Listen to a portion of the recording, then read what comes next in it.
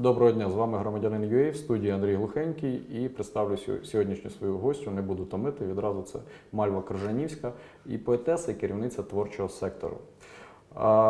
Доброго дня, Доброго пані дня. Мальво. Відразу тоді розкажіть трошки, що таке творчий сектор, а потім ми почнемо вже, так би мовити, нашу бесіду. Творчий сектор це для мене, я думаю, що як для будь-якого організатора, е, хто створює якусь таку спільноту свою для якоїсь цілі, щоб разом з усіма робити якусь важливу річ, то для мене це така дитина. Я її дуже довго виношувала, просто не уявляла, е, як, ну, яким він має бути. І під час Майдану е, він тільки ще починався, ще тільки студенти повиходили. І я про ці речі бачила тільки в новинах. Тобто на Майдан я потрапила десь вже в 20-х числах е, листопада. Ось, але е, я ніколи до цього не виступала ні по яким літературникам, ніколи не показувала свої вірші нікому. Я завжди писала е, там в стіл. Стіл. Так. І от наважилась, думаю, піду і побачила в Фейсбуці, що буде творчий вечір, літературник. Думаю, піду туди почитаю. На той момент я вже писала українською мовою, а, по як і більшість наших поетів е, в юності це все писалось російською. На той момент я вже там мала що почитати, вже в мене була така папочка з віршами українською мовою. Думаю, піду. Я приходжу на цей літературник, знову ж таки, не буду називати до кого, і бачу, там портрет Медведчука висить. Я думаю, що люди, які зараз там дивляться, які трошечки знаються на літературниках і організаторах, вони зрозуміють, де це відбувалося.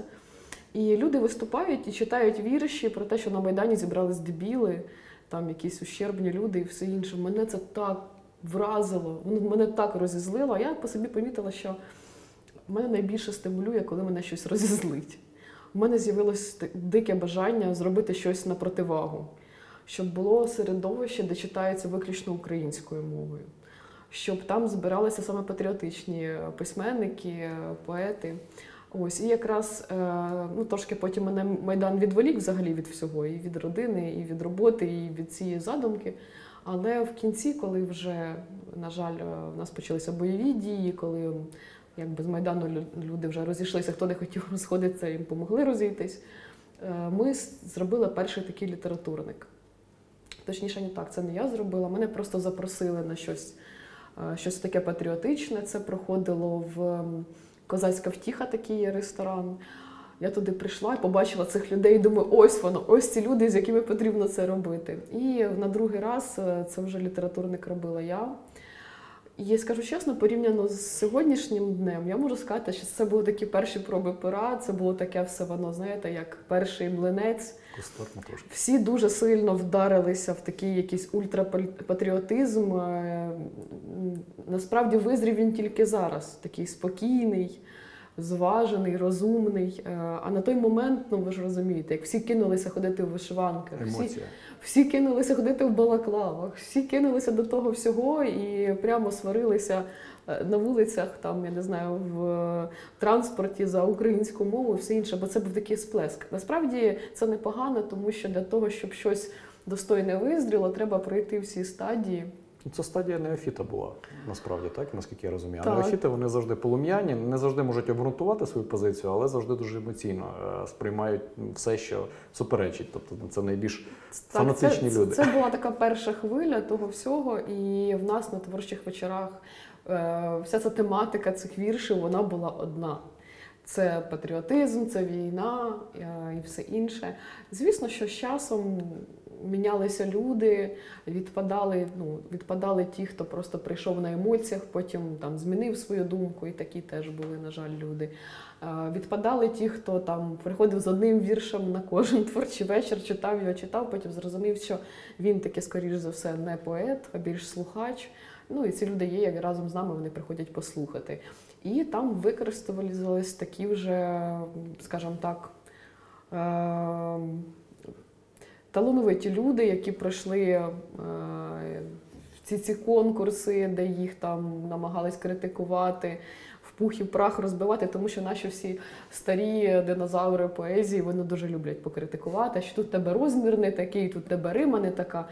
Е, Я завжди думала, ну зараз я візьму книгу оцеї, оцього велича української літератури. Зараз як почитаю, як надихнусь, відкриваю, читаю, так закриваю. І я все-таки, ну можливо, я зі свого боку, це ж знов таки суб'єктивна думка. Мені здається, що зараз молодь, яка з'явилася зі своїми творами якраз під час Майдану, після Майдану, до того теж є багато молодих людей, які писали.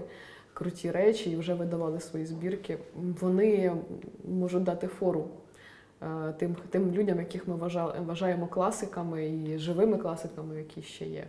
І мене це наскільки надихнуло, що мені хотілося вже не просто літературників в творчому секторі робити, а виносити це на вулицю. Тобто ми брали колонку, ставили і читали на вулиці, люди підходили, слухали. По-моєму, це прикольно. Або там просто сідали на бровку, і Василь же Василь Лютий приходив з нами, сідав, сидів на вулиці, грав. Тобто тоді нас настільки ми здружилися і сплотилися, що навіть е, такі відомі люди, ось як же Василь, він приходив на кожен творчий вечір. Е, Розмовляв з нами, надихав нас, допомагав, тобто грав з нами на вулицях. Потім ми почали грати на вулиці і збирати речі для дитячих будинків. Тому що просто виступити класно, Соціальну функцію отримали. так, але ж можна при цьому ще зробити ще плюс щось. Я дуже люблю, е, щоб можна було декілька зайців за один раз вполювати. Ось. А потім, ну так, ми вже почали їздити на, на фронт, тому що там можна приїхати. Тут уже річ не в тому, що ти виступаєш і е, ділишся своєю творчістю. Тут ти вже їдеш підтримати, надихнути і плюс показати, що там в тилу нам не просто не байдуже, що ми вважаємо цих людей найкращими з сьогоденників наших, тобто це наші воїни, і що ми присвячуємо їм цю творчість. І я бачу, як в них світяться очі, вони розуміють, що їх люблять, що їх там чекають, кажуть там хлопці, ви там краще, там давайте, давайте. Тому це зараз творчий сектор зараз на цьому якби за, зациклений. Відразу скажу, так би мовити, привідкрию завісу для е, глядачів, хто нас дивиться і хто нас дивитиметься. В плані того, що я ось познайомився з вашою творчістю без уже особисто персонально. Я бачив дещо там в інтернеті, але особисто на останньому вечорі, на який я ходив, це власне ось е, еротична поезія, я так розумію. Ні, це Чи інтимна. точніше, вибачте. Інтимна так, це я- не завжди Це особисте, це дуже близько особисте, інтимне. Я б сказала, Так. так. глибока душевна. І що цікаво, що там, я так розумію, зібрались люди з тими ж переконаннями, про які ви говорите, але читали зовсім інші вірші. Читали особисті вірші про особисте життя, про те, що їх е, якимось чином задіває, хвилює. І доволі часто там були і певні еротичні моменти теж. Ну, якщо я вже сказав, то я не можу зовсім помилитися. Тому е, розкажіть трошки ось про ці починання. Ам, Я вважаю, що все має бути дозовано і доречно. Це можемо ми побачити не тільки там на прикладі якихось таких е, віянь так, е, в масштабах країни чи в масштабах взагалі світу. Ми можемо це побачити там е, в значно вущому такому профілі, подивитися на стосунки. Якщо тебе весь час своєю увагою пресують, змушують до чогось, це починає викликати відторгнення, це починає викликати бажання повернути якби в зовсім протилежний Ну, це фізика, сила дії. Тому а, в певний рівна- момент я зрозуміла, що потрібно розбавляти ці, е, ці патріотичні виступи, ці патріотичні заходи. е, Взагалі тим, заради чого це все. Тобто, заради чого це все? Заради того, щоб відчувати життя. Життя. Відчувати його у всіх його проявах. Це і любов до жінки там, чи чоловіка, це і любов до природи, до навколишнього, взагалі якоїсь філософії, навіщо ти взагалі тут і все інше. Тому, якщо е, акцентуватися настільки на патріотизмі, це в людей просто ну, і викликало, до речі, тому що це робилося мені. Ну, я в всьому бачу заговір. Мені здається, що це робилось не просто так, а, а трошечки навмисно. Просто загодовували людей Оскомина, цим жовто-блакитним. Чесно, в мене на районі розфарбували смітники в жовто-блакитний колір. Тини в жовто-блакитний колір. До сих пір по вулиці ходять і продають стрічки жовто-блакитні. Ну це вже, ну вибачте, ми вже доросли до того, я вам скажу чесно, що ми маємо бути в костюмі. Ми вже маємо бути в- кроватці, в костюмі, в вечірній сукні і показувати, що ми є українська інтелігенція, а не е, маніпулювати і якось е, намагатися е, створювати собі якийсь такий е, образ, е, який там всім сподобається, ходячи кожен день вишиванці. Вишиванка це сакральна, сакральна річ. Мати вишивала вишиванку як оберіг сину. Дружина вишивала чоловікові. Це туди вкладалося стільки зусиль, Ну, орнамент мав щось значити щось нести. і це теж. Але якщо жінка вишиває, о, особливо така жінка, як я, яка може вишивати це декілька років, тому що ну, дуже невсичива я на одному місці, щоб щось це зробити. Це, це дуже сакральна річ. І я люблю вишитий одяг. Я одягаю його на фестивалі якісь патріотичні. Я одягаю його на свята, такі як День Незалежності чи на якийсь парад, бо там дійсно стоїш, і в тебе від емоцій повні очі сліз і все таке. Ну коли ти намагаєшся.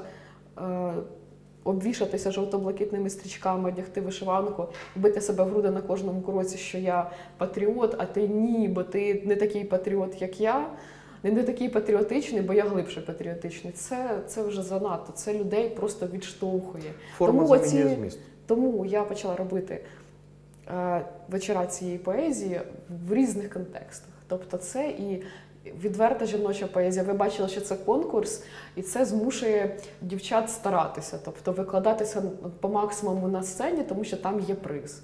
А цей дух боротьби він все рівно ну, якось трошки Трошки стимулює краще підготуватися, а не просто прийти там відчитати з, папірця і піти собі. Це і ми і в чоловічій поезії теж е, від творчого сектору робили такі вечори. Це і якісь тематичні е, вечори, там філософські, там ну будь-які різні для того, щоб людина розслабилась. Їй треба людині обов'язково треба пам'ятати, що цей патріотизм він заради чогось. Наповнення цього всього. Ви, ви так зараз під час відповіді зачепили цілий ряд тем, які я хотів сьогодні підняти. Починаючи від сакральності певних язичницьких речей, я відразу анонсую, що встигнемо, то встигнемо, можливо, піде розмова інакше трошки. Е, еліта, формування сучасної еліти, на мій погляд, дуже важливий е, момент. Теж те, що ви сказали, що інтелігенція і так далі, це е, певне середовище. Одна інтелігенція не може, ну суспільство не може виїхати лише на одній інтелігенції, але там і технічна інтелігенція повинна бути, і військова інтелігенція, знову ж таки, аристократія, так би мовити. Я хотів це теж зачепити тему. І зачепити все ж таки з самого початку, що ми з вами говорили, що відбулось взагалі в творчих е, в творчому середовищі з майданом і з війною, тому що для вас це стало таким спусковим гачком ці події, і ви розкрилися в творчому е, плані. Ви почали виступати публічно, ви говорите. А з іншого боку, як це вплинуло взагалі на цю, так би мовити, тусовку, як зараз прийнято казати? Почну з того, що цих тусовок багато. І це дуже круто, тому що ем, в мене такий якийсь комплекс, мені завжди здається, от я, це, це моя проблема і в творчому секторі була е, теж. Тобто важко делегувати якісь е, свої речі комусь, бо тобі здається, що якщо ти все не проконтролюєш, все розвалиться. А потім я подивилася, скільки людей це робить, і мені, мені стало так добре, так кайфово. Я розумію, що що це є в Харкові, це є в Франківську, це є у Львові, там в Миколаєві теж є якась така е, своя прослойка е, цих патріотичних е, митців. І що це все разом відбувається, воно росте і утворюється певний прошарок митців, літераторів.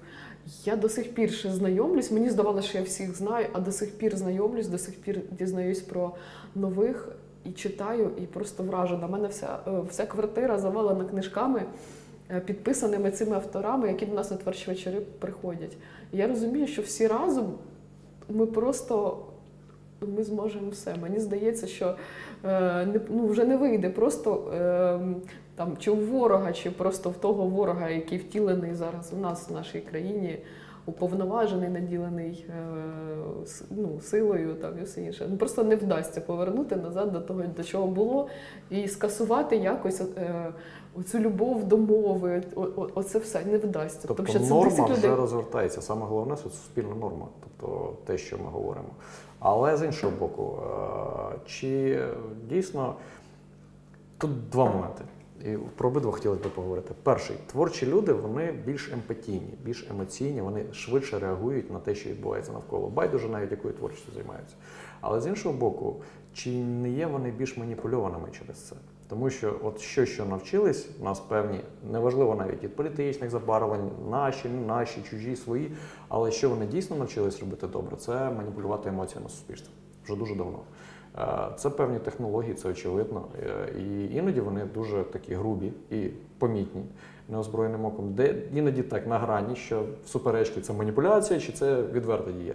А іноді вони навіть не помітні. Але факт є факт, що нас за ці 5 років чи 6 навчили бути більш цинічними до будь-яких вкидів Це дуже добре. А, але ж знову ж таки, я бачу, як емоційно постійно реагують в першу чергу мої творчі знайомі, друзі, як вони палко кидаються боротися за правду проти неправди при будь-якому такому ну, інформаційному вкиді, якісь події і так далі. Чи можна сказати, що творчі люди при всій своїй важливості, цій факельності, що вони попереду і несуть це знамено, вони ще й все ж таки іноді маніпульованіші за інше суспільство? Я зараз спробую якось це не розмазувати, Так. а оформити максимально стисло. По-перше, адекватність в людях є як у творчих, так і Ну, в нетворчих. Імпульсивність є і в творчих, і в звичайних людей. Надурити можна будь-яку людину насправді. Але е, навіть я, я, я дуже емоційна людина, тому коли мені взагалі будь-коли пропонували як, мати якусь дотичність до політики, я завжди просила залишити мене в спокої. Мені туди не можна, тому що е, ну, я, я, по-перше, не можу змовчати, коли я бачу, що це така кричаща неправда. І я відразу ну, починаю емоціонувати, і ну, іноді, чесно кажучи, це може виходити навіть за рамки нормального, тому так. Звісно, що митці більш імпульсивні люди, але ті, хто намагається бути справедливим, ніколи в житті не вдасться на них якось повпливати.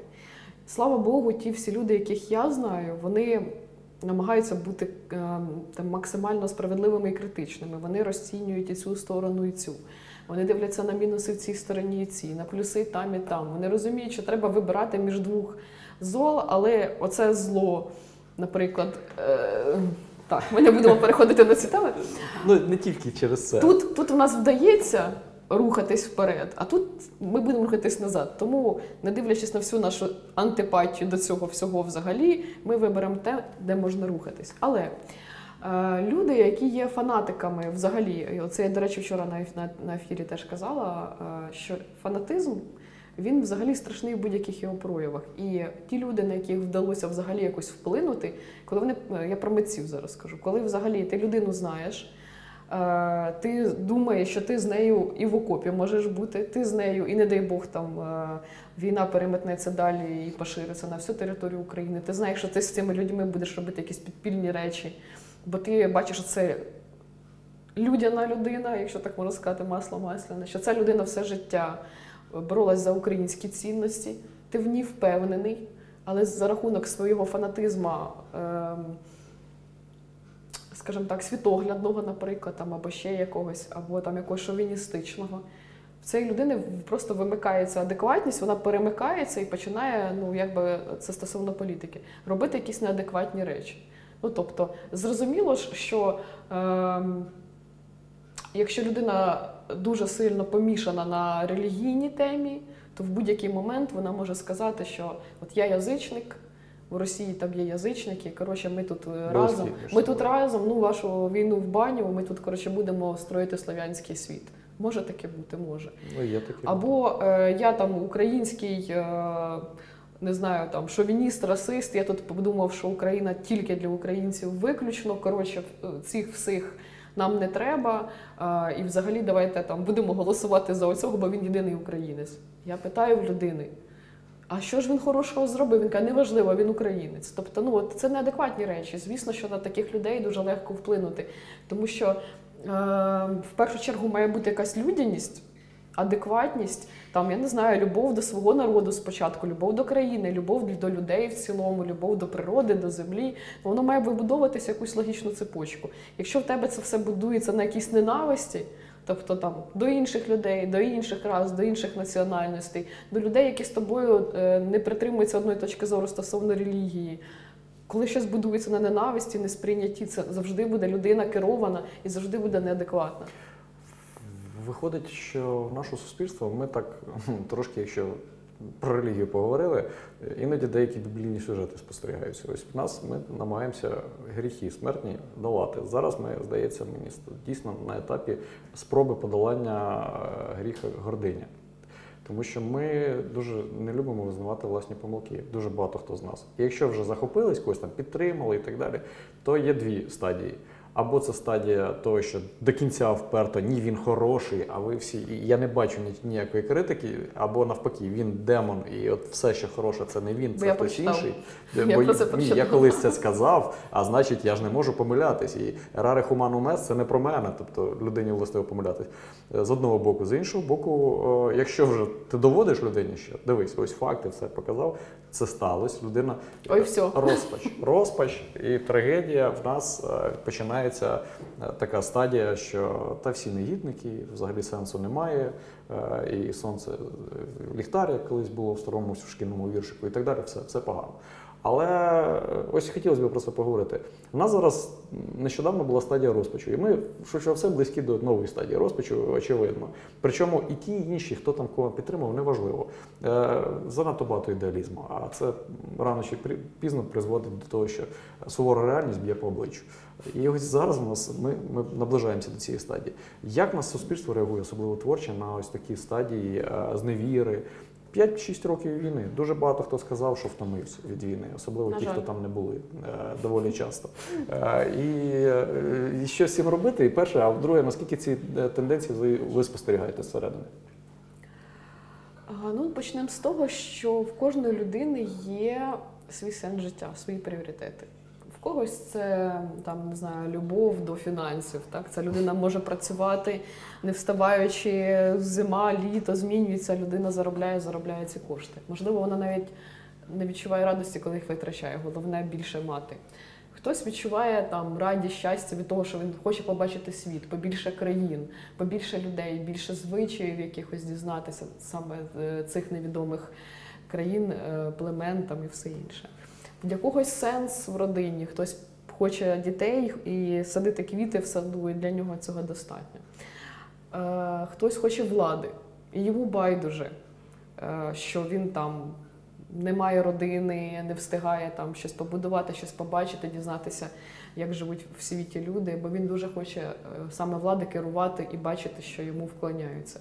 У митців є така е, риса, ну не всіх, я ніколи не обособлюю всіх Ну, людей звичайно, разом, але митці люблять визнання. Вони люблять, коли їх люблять. Вони люблять, коли гріх, якщо категоризувати, це марнославство. Ми про це з Васильком говорили тут, до речі. Е, тому що для, для кожного митця е, сцена, сцена це не просто сцена. Для когось це подіум, для когось трибуна. Для більшості все ж таки це подіум, показати себе, донести. Але для когось трибуна ще власні думки. Іноді це поєднано.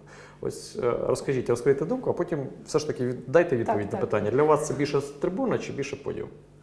Добре, спочатку я докажу до кінця. Так. Тобто для митця дуже важливо е, свою творчість доносити до людей, щоб е, вона подобалась людям. Звісно, що це хочеться. Ти ж не пишешся для того, щоб сховати там і ну і все інше. Тому стосовно вашого питання, чи е, депресія впливає на митців, чи депресія якось змушує їх е, там втомлюватися від чогось відмовлятися? Ні, це самі невтомні люди, я хочу сказати. Тому що оце бажання доносити свою творчість, ставати відомим, воно рухає людину весь час вперед, навіть коли вона втомилась. І дуже часто буває це у всіх, і у мене теж, що все, я не можу, я більше не хочу. Якийсь таке починається такий приступ е, соціопатії, хочеться там закритися, нікого не бачити, тому що дійсно дуже сильно розчаровуєшся.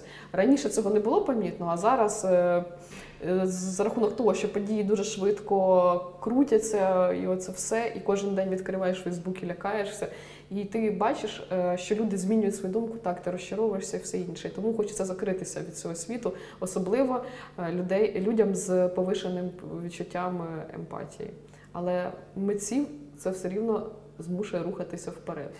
Тим паче митці дійсно відчувають, у них є оце відчуття е, завишеної справедливості з дитинства, тому не завжди всюди вмішуються.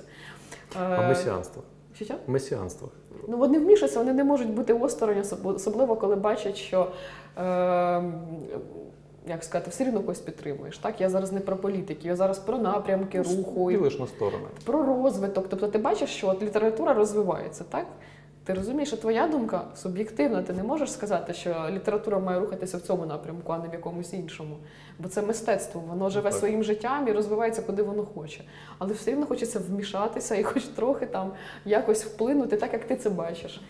Тому втомити, е, задепресувати митців важко. Через оцю, в принципі, здорову егоїстичну складову, це внутрішнє полум'я, е, яке штовхає. Так, я скільки наблюдала, я бачила е, моя улюблена поетеса. е, Знову ж таки, не буду називати імена. У мене їх багато улюблених, але я помітила, що вона вирішила бути раціональною. Вона вирішила не вмішуватися в політичні баталії, не робити якихось висновків, тому що завжди буває висновки, як ти, як ти сказав, висновки не робив, а в результаті бачиш, що тебе там дійсно десь обманули, не договорили, а ти там вже кинувся в бій з кулаками і все інше. Вона вирішила не встрявати і писати далі свої вірші про любов, але не витримала. Все рівно в кінці я бачу, що якось поверхнево, не заглиблюючись в тему, вона все рівно пише, що е, засмучена засмучена, бо дуже хотіла бачити Україну українською. Вона дуже хотіла. Ми такі знову ж таки всі адекватні поети і всі навіть адекватні націоналісти, які хочуть бачити Україну саме такою, як вона їм там в снах бачиться. Все рівно ми проти того, щоб насильно щось насаджувати. Ну не можна насильно змусити, змусити щось любити. Але потрошечку, потрошечку е, ці літературники, ці концерти, де як можна, наприклад, не любити українську музику, якщо навіть людина, яка розмовляє весь час російською мовою, ходить і співає ці пісні, бо вони класні, вони круті. Саме таким чином, через культуру, через літературу, мистецтво, музику Створення середовища. можна людей, людям показати, що це можна любити і це варто любові. Ну, дивіться, дарма є така фраза, що суспільство воно не будинок. Я не пам'ятаю, хто сказав. Суспільство насправді це дерево, рослина. І його не можна побудувати, його можна виростити. Тобто поливати, створювати всі умови, підживлювати, підстригати десь, можливо, іноді так, деякі гілочки обрізати. Для того, щоб воно там оберігати від паразитів, і воно тоді виросте, але все одно воно виросте таким, яким воно виросте. Ти до кінця не можеш керувати, але сприятливі умови створити повинен. А, так, я пропоную зробити певну поетичну паузу. Був би вдячний, щоб ми з глядачами послухали кілька віршів, а потім продовжимо. Якщо не проти, я буду з гаджета читати, тому що трошки хвилююся, можу забути. Я, до речі, оце для мене така теж болюча тема. Я коли дивлюся якісь записи, відео там, де я виступаю там 5 років тому, мені так соромно завжди. Ось і тому ці творчі вечори від творчого сектора, які я зараз роблю, я хочу е, зробити там максимум наголос на те, щоб люди вчили, виходили без папірця і виступали як. Як, е, як театрали, тобто як людина, яка може там одним підняттям брови передати свою емоцію в зал. Ось тому я сподіваюся, що коли ви були на нашому заході, щось таке у вас е, було якесь так е, співпереживання з автором, який виступає. Ну, в принципі, для мене так. Для мене це е, був доволі хороший поетичний вечір. Ви кажете, що не кращий, але завжди потрібно прагнути до ідеалу, хоча його ніколи не досягнеш. Вам про що почитати? Про любов? Чи можливо, в мене просто є кілька таких віршів, вони все-таки зі знаком мінус, вони трішки ні- негативні, але я туди вклала глибокий сенс про ті речі, про які ми е, Давайте з тоді. Говорили чи будемо говорити це стосовно суспільства і стосовно того, чому є в суспільстві значна е, частина людей, які не хочуть брати участі ні в розвитку держави, ні в розвитку себе, ні взагалі в якомусь рухові кудись. Тобто вони там товчуться на місці, вони там е, не розуміють, е, хто за це все відповідальний. Ну і звісно, завжди є відповідальний це влада, вона винна і все інше. Ніхто не думає про те, що влада це зріз суспільства. Там не буде ніяк інакше, поки ми отут от знизу є такими. Ну, тобто нема причин причинно-наслідкових зв'язків у людини в голові і небажання брати відповідальність. Так. До речі, е, я знову ж таки переб'ю, що до вірша не підійшла. Хотіла сказати, що ви сказали про смертні гріхи. І я хочу сказати, що дійсно є такі е, риси характеру, які не дають людині вибудовувати ці причинно-наслідкові зв'язки, такі як заздрість. Е, це завжди, ну тобто людина намагається не допомогти тому, в кого краще виходить. От в цій людини виходить краще, ніж в тебе, допоможи їй. В результаті буде благо і для тебе теж, і для всіх навколо. Ні, людина намагається хапатися, топити, щоб в когось не на вийшло. рівні когось бути. Так, це, до речі, я теж ну, е, не казала, казала це на, на етері у Василюка, що це, на жаль, дуже така вагома частина нашого українського менталітету. Внутрішнє я. Так, ну почитаю вам цей вірш. Він у мене, мабуть, самий негативний. Я його недавно написала, але мені здається, в ньому є трошки логіки. Називається він Будяки. Я нащадок московського племені, обірванців, убивець із броду, що привезений був усі землі замість вбитого ними народу. Жовті зуби червоної смерті шкірив тут мій прапрадід, прапрадід в ушанці. Репресованих голодом стертих замінили діди голодранці. Я маленька частина системи, що на борошно кості змолола тих, на місці котрих ми живемо, і закручуємо гайки по колу. Позбивав колоски на цій ниві драний чобіт радянського бидла, та вчуваєм ми знову вразливі, недоросам згинатись на бридло. Піднімаються, кинувши милиці, недобиток хохол, гей, захватчики, трон імперії з креготом хилиться, підставляємо ж плече, кровні братчики, на укотре підведених шиях, свій язик зашморгнемо, як ремені, щоб безбіжжя українське глушили знов і знов будь-яке мого племені. Насправді ці речі відбуваються несвідомо, і коли е, я ми коли в'їхали з вами сюди, я вам розповідала про концепції. Чому дуже часто в тих людях, які я не про тих, які байдужі до ситуації в країні, я про ті, які е, свідомо, підсвідомо чи нарочито підтримують е, загарбника. Вони не розуміють, що з ними це відбувається. В них працюють ці е, підключені концепції. Зазвичай вони дуже схожі. Ага, Це і певний релігійний світогляд, і якісь, якась прив'язаність, це якісь певні симпатії історичним персонажам не тієї країни, в якій ти живеш, а тієї країни, яка там е, століттями просто вважала нас там якимись васалами на окраїнці. Тобто симпатії історичні не героям цієї країни, а героям країни-агресора. Це і е, якісь літературні симпатії. Тобто людина може жити в цій країні, не знати письменників цієї країни, але вона любить і поважає письменників країни-загарбника. Тому що насправді дуже часто буває, якщо трошечки глибше копнути, то ця людина або приїхала з Росії і живе тут, або її батьки приїхали, живуть тут. По-перше, це генетика. По-друге, виховують е, дитину, ну, якби виховують саме з такими. Е, з- з- Пріоритетами, з такими симпатіями, з таким світоглядом. Тобто ці люди живуть тут, їх тут багато. Але не обірвали зв'язки з е, А так вони не, не хочуть їх е, обривати. Вони відчувають це саме ті люди, які кажуть, що ми є одним народом. Вони Тобто просто їм некомфортно інакше. Людська свідомість так влаштована, що ти ніколи не поганий для себе, і ти повинен це пояснити, чому ти не ну так, це поганий. важко дуринові довести, що він дурень, Так. наприклад. Ти, він з тобою ніколи не згодиться. Ну це як з мертвими кажуть, коли ти помер, то всім погано, тобі байдуже. Ось так само, коли ти дурний. І це, цей вірш, і ну, взагалі, я коли часто про ці речі думаю, я розумію, що я навіть не знаю, як це оформити. Нам треба, нам треба працювати з максимальною лояльністю і любов'ю, і, і, і ну, з максимальним е, таким ажіотажем і захватом з дітьми цих людей для того, щоб пояснити їм, де вони живуть. Є Хто приклади. вони є? Ви праві, є приклади, коли росіянин етнічний насправді стає більшим патріотом. Ось ідеї, навіть ну України це дуже абстрактно.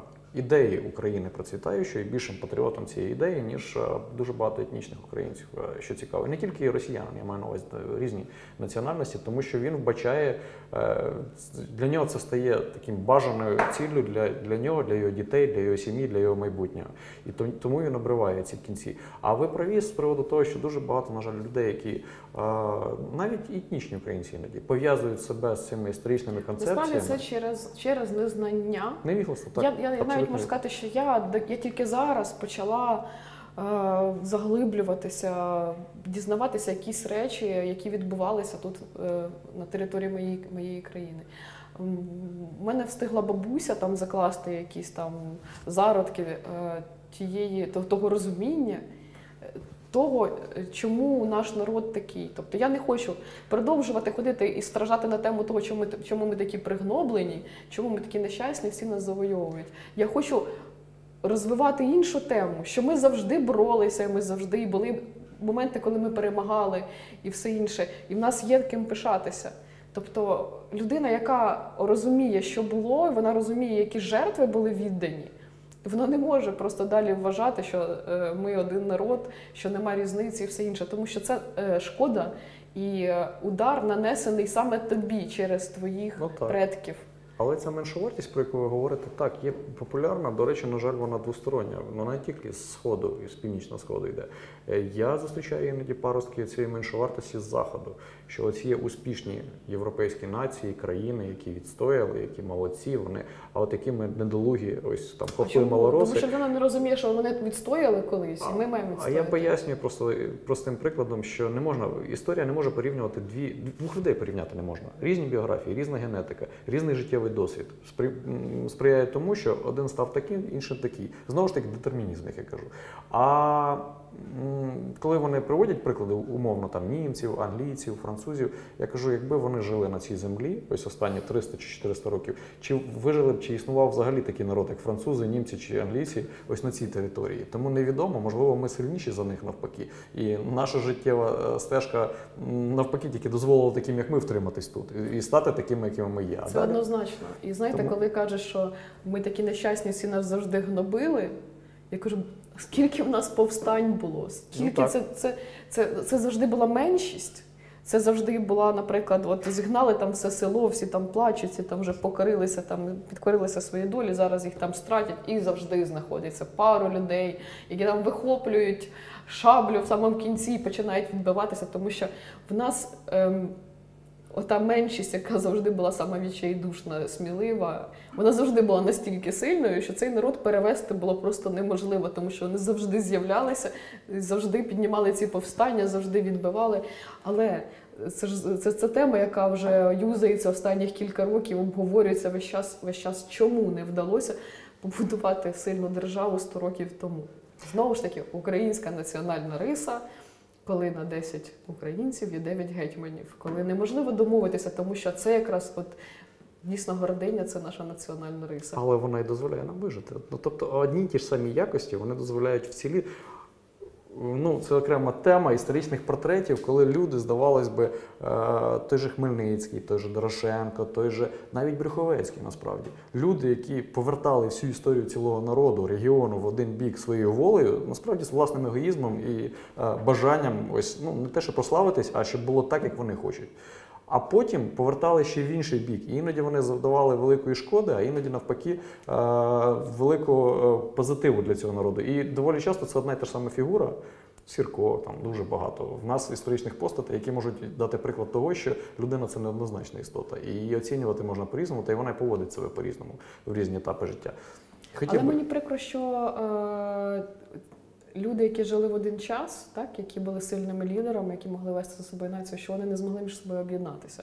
Тому що легко можна поступитися насправді е, заради, е, скажімо так. В цілому долі і кращого майбутнього всього народу можна трішки поступитися своїми амбіціями і вибудувати якусь ієрархію, що ця людина є головною. Так. В нас цього нема. Тобто, е, Але це ж інші цінності. Можливо, можливо, це Ми ви, зараз- ви- викличе у вас е, Так. е, реакцію зі знаком мінус, і можливо в слухачів теж. Але я отак для себе задумалася, я ж маю право на власну думку, правильно? Я задумалась е, часто. Те, над чим ми сміємося там в рос- ну, в росіянах, так ми ну, знаходимо це смішним. Оце їхні і ці імперські замашки, оце типу, як ми називаємо рабством, що їм потрібен там імператор, цар, а ми вільні і все інше. А це їхня в цьому їхня сила Ну насправді. так, це основа імперії. Я порівнювала, я часто думала про це. Є такі дві речі, які мене наштовхнуло, наштовхнули на таку думку. Перше, це як мурашки перебираються через річку. Ви знаєте, як мурашки перебираються через Ну, річку? один Вони створюють, чіпляються. вони створюють такий комочок. Цей комочок там впадає в річку, там борсається, там всі ці верхні слої топляться, але серединка цього комочка допливає до іншого берега, там, де є їжа, бо тут, наприклад, нема. І все. Оце е, ця частина мурашника виживає. Тобто такою самопожертвою вони виживають. Далі е, я слухала якось, ну як і всі, як і більшість в юності, ми слухали там якусь е, російську попсу і рок і все інше. Я слухала пісню гурта, який називається Забула як. Але там йдеться про те, що ми е, як е, горохове зерня. Наутілус. Тобто- хлоп-хлоп. Хлоп-хлоп, так. На, типу, нас е, б'ють горохом об стіну, ми стаємо залізні, з нас зливають кулі е, і, і, і все інше. І е, кулі відділюються щось там так. в ядра. Так. і потім вони розруйнують будь-яку стіну. Так, і будь, типа, ядра типа, побудують стіну, і за стіною зріє урожай. Так. І оце їхня якась от, ім, така імперіалістична самопожертва. Ви ж розумієте, що Це російська модель.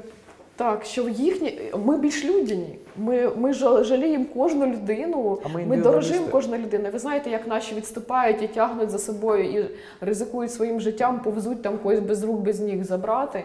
А в них, як завжди було, баби нарожають ще. У них там е, керівна ланка ну, якби не цінує і закидує трупами свого противника. Але ж, але ж, це, але ж це діє, це перемагає. В нас, в нас немає цього бажання об'єднуватись довкола одно, однієї керівної особи. Тому що такої керівну, таку керівну особу їй треба ще виростити, щоб вона з'явилася. Це має бути наскільки все в одному. Що я навіть не можу собі уявити. Мені здається, що така одна людина не може в собі е, об'єднувати такі риси. По-перше, це має бути месія. Це має бути така людина настільки ідейна, настільки людяна, настільки вона має бути добра, Ну, це Що- наш Махатма Ганді. але біля неї має бути, ну, має бути свій кат, тому що така людина вона беззахисна, її завжди приберуть, і вона не може діяти, вона не може будувати, вона не може бути жорсткою і ставити рамки. Біля неї має бути своєрідний кат, який буде це робити. Дивіться, Марго, з одного боку хотілося б так на позитив звести. Моє бачення, я з вами згоден, тому що дійсно це ми країна фронтир. Між нами якраз і проходить ось це е, індивідуалізм західний, і ми дуже дуже багато. Ми ніколи не були в принципі в концепції азійської держави. Ми були в імперіях, коли вони прагнули до Європи. Навіть Російська імперія на той момент прагнула бути європейською. А от росіяни навпаки вони мають серйозний е, якраз етап свого існування як народу і формування якраз етногенез, коли відбувався е, в азійській моделі, ось цій е, під впливом азійського колективізму. Ну, те, що ви кажете. були так. І в нас ось тут якраз проводить такий яскравий фронтир між індивідуалізмом і колективізмом, і те, що ви говорите. Але є такий момент, ось ми про це вже говорили на ефірах теж з іншими гостями, що наша модель, вона її важко перемогти. Ми горизонтальні. Ми, ось ви ще сказали, шаблю достав, порубав, загинув. Але боротися з цим народом важко українським, тому що все одно лишилась якась бабця, дідусь, хтось, хто якусь книжечку дістав, якусь казочку дітям розповів. І через покоління 2-3 проростають знову. І нічого з цим не зробиш. Тому що е, вертикально побудовані моделі, ці такі, як е, в Росії, імперські моделі. Там, якщо відбувається криза зверху, вона ефективна, вона швидка, вона може нав'язувати свою волю сусідам. Але до тих пір, поки сила е, у владі. Якщо в владі починається криза, імперія не стійка, вона починає руйнуватись, там слабка ініціатива, і вона не може реагувати, вона е, руйнується. А ось ми нас важко перемогти, але ми не вміємо перемагати. Але хотілося б, щоб на момент загрози, на момент війни, саме так і було. От хотілося б, щоб так було. Щоб вибудувалася така модель, де знизу поети пишуть патріотичну поезію. Там е, е, майстри роблять все більше і більше якихось таких е, речей, які можна продавати, допомагати армії. Там лікарі працюють, там хтось йде на фронт, працює там. І Ну, все це як така машина працює на те, щоб ми перемогли. І зверху адекватна людина, яка цим всім командує. Було б круто, звісно. Але потім, коли вже нема загрози, ми ж ми ж Ну, такі індивідуалісти. Августин Сосновський якийсь повинен бути. Знаєте, це ну чому Сосновський? Я просто граюся з сосна і з іспанського це піно. Августин, ну Августо. Знаєте, який потім віддасть все. Але потім хотілося б, щоб ну дійсно ми, ми не така нація, яка. Ну, ми ж, якщо там порівняти, так е, росіян там і нас е, в ті часи, коли ще наші там сіяли, пахали, а там е, такі хатки збиті з, деревини страшні чорні стояли. В нас вже рушники висіли на вікнах. Тобто ми, ми, ми хазяїни, нам треба, щоб нам. Ну, дійсно, ми завжди боролися з тим, щоб нам там щось указували зверху. Тому що ми такі самі. Війна закінчилася, розбрелись. Все, ми тут будуємо, ми тут сіємо, ми, ми- є лю- людьми. Тобто українська така е, національна риса, тобто це такий господар, який е, працює, він зажиточний, тому що він може там е, посіяти, зібрати, посіяти знову. Йому тобто є такий стратег. І, Так. і є що розвивати. А ось у нас не так багато часу залишилось, на жаль. Перше, хотілося б цю тему все ж таки докрутити, так би мовити. Ви якраз говорили про творчість, про створення середовища, що вона росте, росте, росте, і так рано чи пізно цей ґрунт стане е, добрим для проростання нових ще більш е, е, кращих ідей. І навіть середньостатистичний українець він вже все одно змінюється, якщо з 90-х подивитись. Як би ми тут не плакались, українці стають українськими все Європа більше. розширюється всередині нашої країни. Я І- навіть бачу, вибачте, що відійду від теми на одну секундочку. Я бачу, як е, собачники прибирають за своїми собаками. І все більше і більше. Тобто це вже нормально. Якщо там ще два роки тому назад е, таку людину одну можна було побачити там випадково і здивуватися, то зараз і це у всіх сферах відбувається. Ну, Ми стаємо більш європейськими людьми. Так. А, а якщо говорити про еліту аристократичну, то що я казав, умовно аристократичну, знову ж таки, не можна виростити, взяти десь окремо приміщення, якесь туди нагнати дітей, через 15 років ви- випустити звідтіля е, генів. Знаєте, нажартую, що якщо ви хочете, щоб наступні е, керівники держави е, були хорошими спеціалістами в економіці державотворення, зараз почали жартувати, то почніть це викладати, врешті-решт, нашим військовим. Е, Державотворення економіку. Але якщо серйозно, е, чи бачите ви цей процес, що чи дійсно середовище людей активних, війна вона і негатив несе, і позитив. Люди розкрились, люди стали більш складними, вони реагують на, на, на речі, на соціальні, на оточуючі. Що ми можемо отримати ось цю громадське суспільство, в принципі. Скажімо так, е, після війни е, знову ж таки не буду казати нічого про владу, е, про там її якісь промахи і все інше, але вона дала змогу активістам поширювати свою точку зору широко на суспільство. Дуже багато людей почали проводити лекції в школах. І ці лекції не тільки там історичні, чи там з приводу там якоїсь національної свідомості, а й взагалі. Тобто приходили якісь професіонали своєї справи і розповідали, що я, наприклад, успішний бізнесмен, я всього добився завдяки таким рисам характеру. Діти це слухають. Можливо, е, ну не завжди так, є в родинах можливість у дітей взяти найкраще від своїх батьків. Психологія переможця. Завжди раніше е, оцей совок і, і, і, і, після совка це завжди було як дитина нагодована, дитина ходить в школу, там її всьому научать і все. І потім виростає нова несвідома людина, яка не знає там свого місця в цьому світі, що їй взагалі робити. Зараз проводяться такі е, всюди масові просвітницькі речі, тобто і табори, де дітей виховують, де виховують е, хлопчиків справжні такі чоловічі ідеології. Тобто це такі зміни, які ми обов'язково побачимо, коли ці діти виростуть. Не, обов'язково їх кудись заганяти, не випускати і там їх виховувати. Е, Важливо поділитися досвідом позитивним. Це дуже дуже важливо, тому що якщо кожен з нас згадає, чому ми виросли саме такими, не такими, що на нас позитивно вплинуло, це може бути взагалі якась чужа людина, яка проходила повз, взяла тебе в певний момент за руку і сказала тобі якусь важливу річ і пішла. Але тебе це змінило назавжди. Тому, звісно, такі просвітницькі речі дуже важливі вони потрібні. До речі, творчий сектор е, він. Ну, ми також проводимо в школах е, і лекції, і, і психологічні, і патріотичні, і співаємо, і разом з ними займаємося якимось.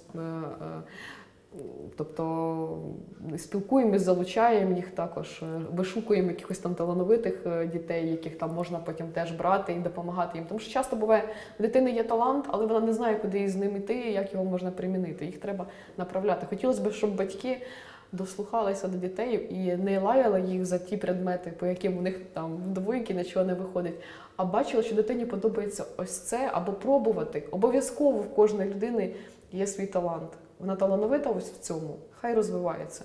Хай буде спортсменом в цій сфері, хай буде кулінаром, ким завгодно. Але якщо людина на своєму місці, якщо вона робить щось е, добре, вона вже несе суспільству користь саме цим. Ну так, тобто хист все ж таки направляти туди, а не ламати через коліна. Ні, як кажуть, і він негідник, і я не Ростропович, то виходить з цього. Хотів би почути ще ваші вірші. Давайте вам почитаю щось позитивне. Трошки часу.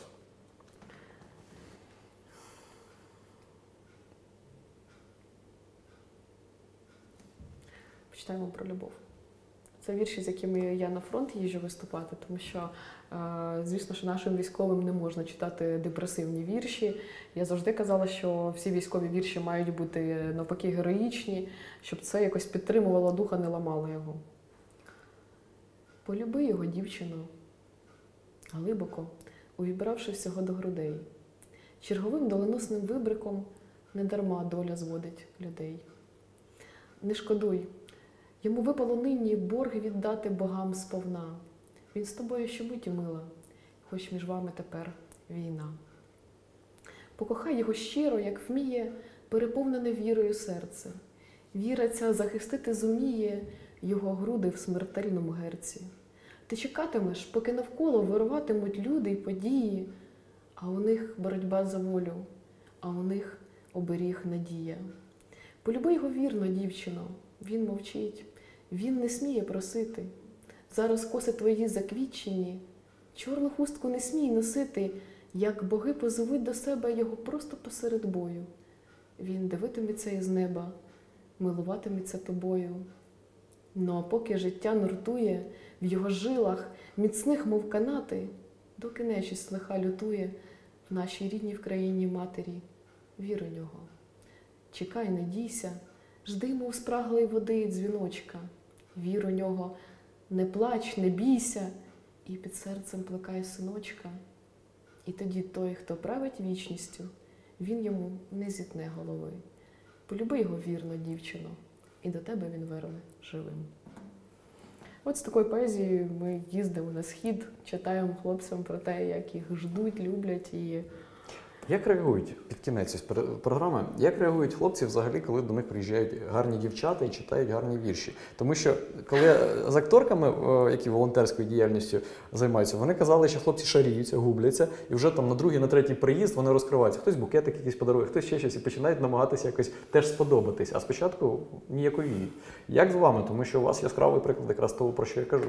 Мені завжди траплялися, от я, я завжди кажу не тільки от про військових, а взагалі в житті, коли хтось розповідає про якихось наїдних чоловіків, про якихось небезпечних е, людей, там чоловічої статі. Мені такі ніколи не траплялися. Мені якось так завжди щастить, е, що я зустрічаю чоловіків завжди самих гідних, самих достойних.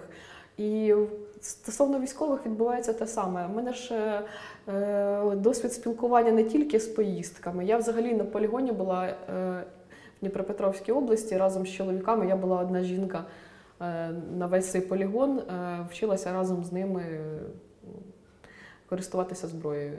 Ні разу не було. Ну, не знаю, ні- ні- ніякої недостойної поведінки з їхнього боку. Це завжди А було навпаки. такі, це такий це такі вчинки Ну, джентльменів гарні завжди було. жінки лякають чоловіків багатьох. Є така тенденція ще, що чоловіки Ну, там була не завжди, не завжди гарна, чесно вам А, скажу, тобто тому що ви Тому що коли там нема душа, є лише серветки, коли в тебе там голова не мита місяць і все таке, і там ти одягнений одягнена у бушлат розміру, там куди ще можна три таких засунути. Тобто, це якби вони сприймали більше, звісно, як побратима. Але завжди там, якщо є одна цукерочка, вона мені.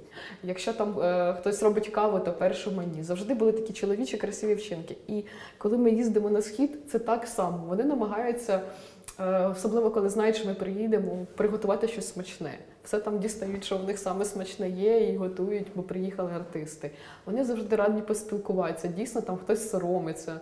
А, Є такі, які там е, завжди ж є якісь гусари в будь-якому чоловічому середовищі, які там відразу там верхній Розкриваються, гудзичок так. розстібнув, хвоста розпустив і намагається підійти познайомитися. Є й такі, але ну я завжди бачила тільки, ну от чесно, тільки гідність, тільки якусь порядність в більшості. Я розумію, що люди всякі є всюди. Є дезертири, які втікають. Є, на- мабуть, і випадки, коли людина перебігала на іншу сторону або ламалась, коли потрапляла в полон. Ну, всяке буває. Мені таких не зустрічалось. Я завжди зустрічала тільки людей, з яких про які мож, про яких можна писати книжки, вірші. Вони настільки мене надихають. І дійсно, коли виступаєш в залі, дивишся, особливо коли співає там Сергій Василюк чи хтось е, там телері зі мною їздили теж. Е, Вони такі більше намагалися розважити, поспівати таких якихось веселих пісень. Я дивлюся, вони підспівують, губи рухаються, вони хлопаються. І не дивлячись на вік, це 18 тире до безкінечності, це все рівно хлопчики. Я не знаю, коли їх бачу, мене такий материнський інстинкт спрацьовує. В будь-якому віці воно мені, як хлопчики, перші 50 років е, хлопчика завжди най- найважче дитинство хлопчачого. Тому знаєте, а у нас, на жаль, закінчився час. Я дуже вдячний за цю розмову. І, власне, мені здається, на цій ноті варто закінчити принаймні сьогоднішню програму.